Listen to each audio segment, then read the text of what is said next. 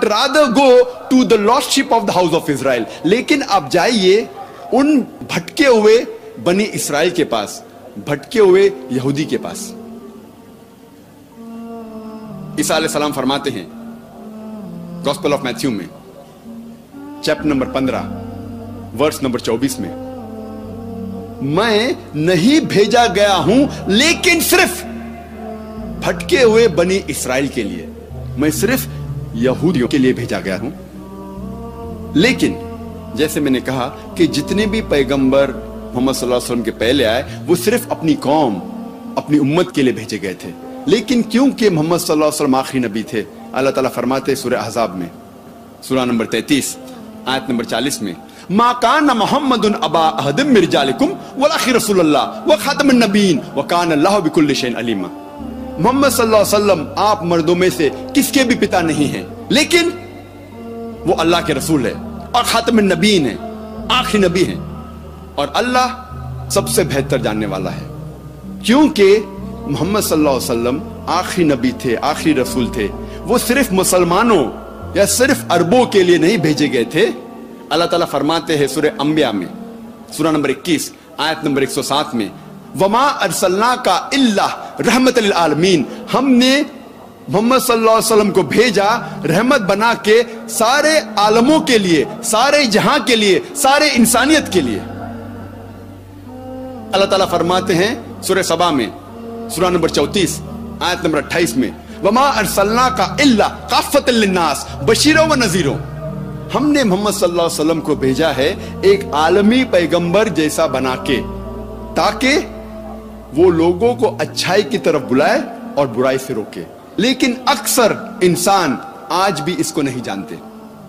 क्योंकि मोहम्मद सल्लल्लाहु अलैहि वसल्लम आखिरी पैगंबर थे, आखिरी रसूल थे, वो सिर्फ़ अरबों या सिर्फ़ मुसलमानों के लिए नहीं भेजे गए थे, वो सारी इंसानियत के लिए भेजे गए थे।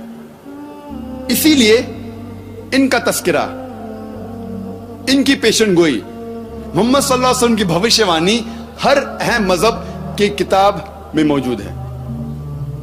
और जब हम बाइबल पढ़ते हैं, बाइबल में भी मोहम्मद सल्लल्लाहु अलैहि वसल्लम की पेशन गोई, मोहम्मद सल्लल्लाहु अलैहि वसल्लम की भविष्यवाणी है। अल्लाह ताला फरमाते हैं कुरान मजीद में सूर्य अराफ में सूरा नंबर सात, आयत नंबर 157 में, कि वो लोग मानते हैं एक अनपढ़ नबी को, जिसका ज़िक्र तोरा और इंजील में है। अल्लाह ताला फरमाते यहूद और ईसाई मानेंगे, वो अनपढ़ नबी को, जिसका ज़िक्र तोरा और इंजील में है। अल्लाह ताला फरमाते सूर्य सफ में सूरा नंबर इकसठ, आयत नंबर छह में। ईसा इब्न मरियम, जो मरियम सलाम के बेटे थे, भेजे गए थे बनी इसराइल के लिए। और उन्होंने कहा, या बनी इसराइल, मैं एक पैगंबर भेजा गया हूँ अल्लाह की तरफ़ से आप लोगों के लिए। और रिकन्फर्म करने के लिए, तस्दीक करने के लिए, वो तोरा, वो वही जो पहले आ चुकी है। और ये बताने के लिए, ये बशारत देने के लिए कि एक पैगंबर आएगा, उसका नाम है अहमद। और अहमद एक दूसरा नाम है मोहम्मद सल्लल्लाहु वसल्लम के लिए। तो कुरान में कई जगह लिखा है कि मोहम्मद सल्लल्लाहु वसल्लम का ज़िक्र, उनकी पेशन गोई उनकी भविष्यवाणी तोरा और इंजील में भी है। अब हम तस्करा करेंगे। बाइबल में मोहम्मद सल्लल्लाहु अलैहि वसल्लम की पेशन गोई के बारे में, भविष्यवाणी के बारे में। ओल्ड टेस्टमेंट में लिखा हुआ है, बुक ऑफ़ डिटोनमी में, चैप्टर नंबर अठारह, वर्स नंबर अठारह में। खुदा कह रहे हैं, मूसा सलाम से I shall raise the prophet among the brethren like unto thee and I shall put my words into his mouth and he shall command all that ऐसे खुदा कहते मूसा सलाम से, मैं एक ऐसा पैगंबर लाऊँगा आपके बरादरी में से, जो आपके जैसा होगा, और मैं अपने अल्फाज उनके मुँह में डालूँगा, और जो कुछ मैं कहूँगा वो पैगंबर दोहराएगा। ये पेशन गई।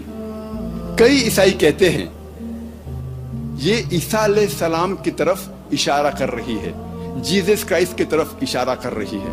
और जब हम उनसे पूछते हैं, ये पेशन गोई, क्यों ईसा सलाम की तरफ़ इशारा कर रही है? तो हमारे ईसाई भाई कहते हैं, इस पेशन गोई में लिखा है कि आने वाला पैगंबर मूसा सलाम की तरह होगा। और ईसा सलाम, मूसा सलाम जैसे थे। और वो कहते हैं कि ईसा सलाम और मूसा सलाम दोनों अल्लाह के भेजे हुए पैगंबर थे और दोनों यहूद थे। अगर ये दो नुक्ते काफ़ी हैं, इस पेशन गोई, इस भविष्यवाणी को पूरा करने के लिए तो जितने पैगंबरों का ज़िक्र है बाइबल में मूसा सलाम के बाद सारे पैगंबर इस भविष्यवाणी को पूरा करते हैं। सारे पैगंबर जिसका ज़िक्र बाइबल में है मूसा सलाम के बाद, वो अल्लाह के पैगंबर थे और यहूद थे। मिसाल के तौर पर Daniel Isaiah Ezekiel Solomon, John, may peace be upon them all ये सारे पैगंबर पेशन गोई को पूरा करते हैं। लेकिन जब हम तहकीक करते हैं, हमें पता चलता है कि ये पेशन गोई book of Deuteronomy chapter 18 verse 18 की इशारा कर रही है सिर्फ़ मोहम्मद सल्लल्लाहु अलैहि वसल्लम की तरफ़। क्योंकि इस पेशन गोई में लिखा है I shall raise the prophet from among the brethren एक पैगंबर आएगा, जो आपकी बरादरी में से रहेगा। और हम जानते हैं कि अरब यहूद की बरादरी में से हैं। और आगे लिखा है लाइक अन टू दी मूसा सलाम जैसा। हम जब तहकीक करते हैं, हमें पता लगता है कि मोहम्मद सल्लल्लाहु मूसा सलाम जैसे थे। क्योंकि मोहम्मद सल्लल्लाहु और मूसा सलाम दोनों कुदरती तौर पे पैदा हुए थे। दोनों के वालदा थे और वालिद थे। लेकिन ईसा सलाम कुदरती तौर पे नहीं पैदा हुए। वो एक मोजा से पैदा हुए। It was a miraculous birth उनकी वालदा थी, लेकिन वालिद नहीं थे। वो बिना पिता के पैदा हुए। इसीलिए ईसा सलाम मूसा सलाम जैसे नहीं है, लेकिन मोहम्मद सल्लल्लाहु मूसा सलाम जैसे है। मोहम्मद सल्लल्लाहु मूसा सलाम दोनों ने शादी की और उनके बच्चे थे। ईसा सलाम ने ना शादी की ना उनके बच्चे थे। हम जब बाइबल पढ़ते हैं पता लगता है। इसीलिए ईसा सलाम मूसा सलाम जैसे नहीं है, लेकिन मोहम्मद सल्लल्लाहु मूसा सलाम जैसे है। मोहम्मद सल्लल्लाहु और मूसा सलाम दोनों की मौत एक कुदरती मौत थी। They had a natural death लेकिन ईसा सलाम he did not die naturally उनकी मौत कुदरती मौत नहीं थी। कुरान मजीद में लिखा है सुरन निसा में सुरह नंबर चार।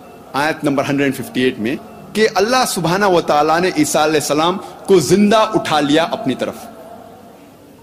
हम मानते हैं कि ईसा सलाम की मौत नहीं हुई। और बाइबल में भी जब हम पढ़ते हैं, मैं ये साबित कर चुका हूँ मेरी दूसरी तकरीर में, was Jesus really crucified peace be upon him? कि ईसा सलाम को ज़िंदा उठाया गया था, उनकी मौत नहीं हुई। लेकिन आम ईसाई ये मानते हैं कि ईसा सलाम सूली पे चढ़ाए गए थे। ये वक्त नहीं है बहस करने का, क्या वो सूली पे चढ़ाए गए थे, क्या उठाया गया है ज़िंदा उन्हें? लेकिन दोनों मुसलमान और ईसा ये मानते हैं कि ईसा सलाम कुदरती मौत उनकी नहीं हुई। इसीलिए ईसा सलाम मूसा सलाम जैसे नहीं है और मोहम्मद सल्लल्लाहु मूसा सलाम जैसे है। मूसा सलाम और मोहम्मद सल्लल्लाहु दोनों को उनके लोगों ने कबूल फरमाया। उनके लोगों ने कबूल किया कि ये अल्लाह के भेजे हुए पैगंबर थे। लेकिन बाइबल में इसका ज़िक्र है गॉस्पल ऑफ़ जॉन में chapter number one verse number ग्यारह, कि ईसा सलाम के लोगों ने उन्हें कबूल नहीं किया। When he approach his own his own did not receive him वो जब अपने लोगों के पास गए, उन्होंने उसे माना नहीं। इसीलिए ईसा सलाम मूसा सलाम जैसे नहीं है और मोहम्मद वसल्लम मूसा सलाम जैसे है। मूसा सलाम और मोहम्मद वसल्लम दोनों अपने दौर में हाकिम थे। उसके मानी वो सजा दे सकते थे मौत की या ज़िंदगी की। लेकिन ईसा सलाम इस दुनिया के हाकिम नहीं थे। ईसा सलाम फरमाते हैं गॉस्पल ऑफ़ जॉन में चैप्टर नंबर 18 वर्स नंबर 36 में my kingdom is not of this world मेरी सल्तनत इस ज़मीन पर नहीं है, इस दुनिया में नहीं है. इसीलिए ईसा सलाम मूसा सलाम जैसे नहीं है और मोहम्मद सल्लल्लाहु अलैहि वसल्लम मूसा सलाम जैसे है। कई यकसानियत हैं। मोहम्मद सल्लल्लाहु अलैहि वसल्लम और मूसा सलाम दोनों ने एक नई शरीयत ले आए। लेकिन ईसा सलाम कोई नई शरीयत नहीं लेके आए। वो पुरानी शरीयत को तस्दीक करने के लिए आए थे और इसका ज़िक्र बाइबल में भी है। इसीलिए ईसा सलाम, मूसा सलाम जैसे नहीं है और मोहम्मद सल्लल्लाहु मूसा सलाम जैसे है। इससे यह पता लगता है कि ये पेशन गोई, book of Deuteronomy chapter number 18 verse number 18 सिर्फ़ मोहम्मद सल्लल्लाहु की तरफ़ इशारा कर रही है।